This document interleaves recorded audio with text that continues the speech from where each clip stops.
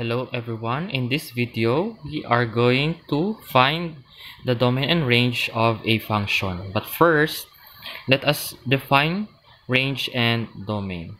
So range is resulting y values we get after substituting all possible x values. So that means after we substitute all the all the possible values of x, so we have the range. While the domain, domain is the set of all possible x values which will make two func uh, which will make the function work and will output real y values. So any possible values ang nasa domain. So any number, any real number or any negative number can be um, the domain. Okay, so let us have an example number one. So find the domain and range of a function. We have number one, points negative 3, 4, point negative 1, 8, point 0, negative 4, point 1 and 4, point 3 and 8, and point 5 and 11. See here, this is a very quick on, on determining the domain and range.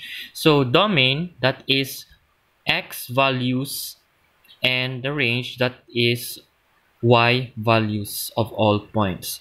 So here, so in this point, so our domain here is all x values. So we have 3, we have negative 1, 0, 1, 3, and 5 okay so let us have uh, rewrite the domain. So we have negative 3 we have negative 3 negative 1 we have 0 we have 1 we have 3 and 5 so that is our domain. And in our range all y value so that is 4 8 negative 4 4 8 and 11 so those are the range of this point. So let us rewrite. We have 4 8 negative 4 we have 4 we have 8 and 11 so that is our range. Number 2 in this case, it is a function wherein we are going to think all the possible values of x to get the domain. So let us try 1. If it is x is equal to 1,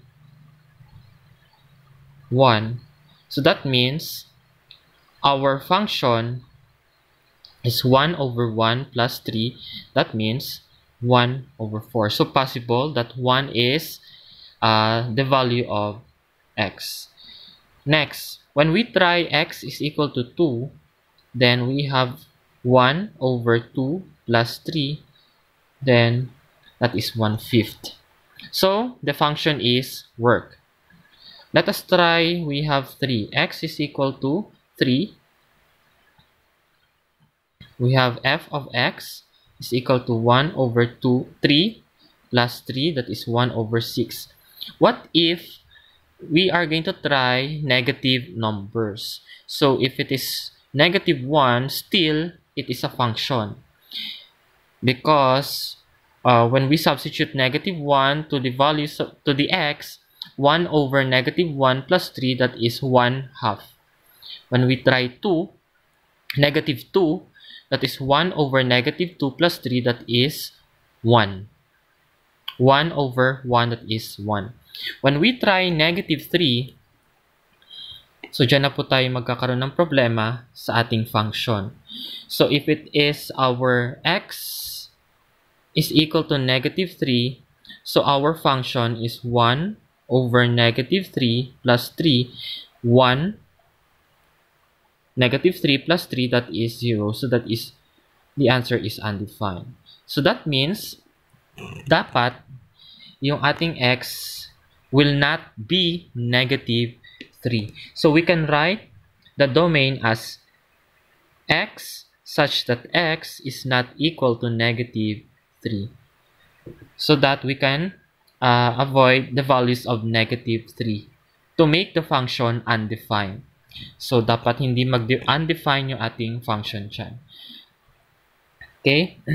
so, dyan lang tayo titingin. Then, when we are going to um, get the range, so, after substituting all the values of x, so that means all possible, so hindi lang siya pwede mag 0. So, x such that x is not equal to 0.